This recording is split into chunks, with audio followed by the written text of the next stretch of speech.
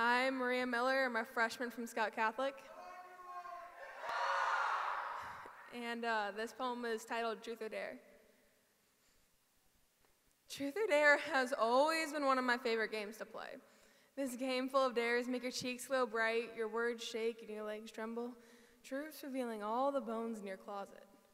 But throughout my extensive experience in this game, one question always seems to make an appearance. If you could have one superpower, what would it be?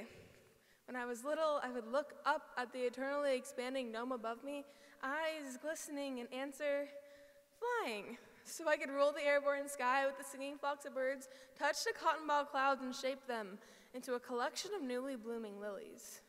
But as I got older, the world around me changed, and so did my answer.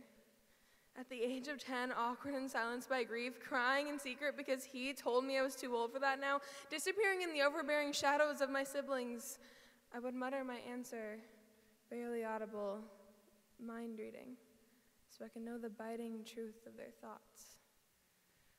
Last year, during a late night game of Truth or Dare, I was asked this question yet again.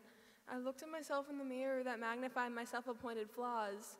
My hair draped around my shoulders awkwardly. My stomach was not quite as flat as I wished. I longed for a gap between my thighs. My eyes were not quite blue enough. And I answered, shape shifting, so I can morph my features to perfection. This answer haunts me. My mind was trapped in the shell I've been taught to hate. But after reading these books, the love of my life, and letting them influence my perspective, they taught me to have candor, to strive for ordinary acts of bravery. They taught me to overcome my fears about myself. I have learned that my life is a story. And there are a thousand pages I have not written yet, and it will not be written with pencils, it's going to be erased by shame. It'll be written with ink and read with confidence. My body is the cover, holding this incredible tale. And if I were to alter myself in any way, it would change the plot would lose my imperfect story.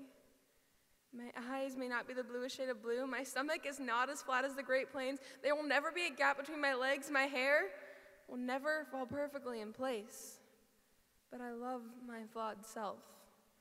So last night, when playing my favorite game again, I was asked if you could have one superpower, what would it be?